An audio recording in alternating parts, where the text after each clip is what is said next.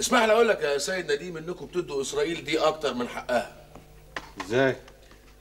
أصل حكاية الولاء للوطن اللي إحنا بنحس بيها في مصر أو بيشعر بيها أي مواطن في أي دولة من دول العالم يعني مش موجودة في إسرائيل بنفس المعنى.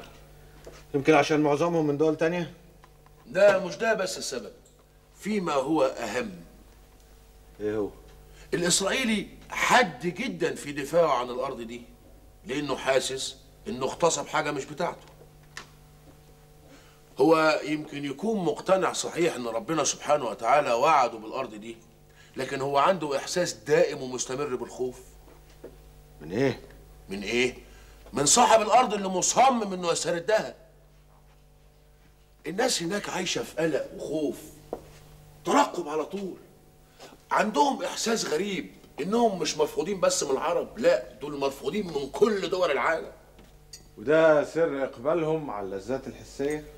وده سر إقبالهم الشديد على العلاقات العاطفية. عايزين يتحبوا يا سيد نديم. نفسهم يتحبوا